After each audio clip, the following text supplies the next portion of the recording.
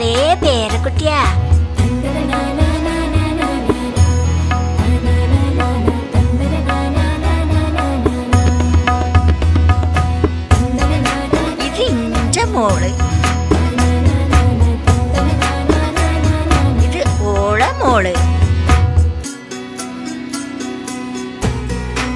ഇത് പ്രസവം പൊരേൽ വെച്ചിട്ട് തന്നെ ഇനു. ഇപ്പൊ എല്ലാം ബേബി മെമ്മോറിയൽ തന്നെ.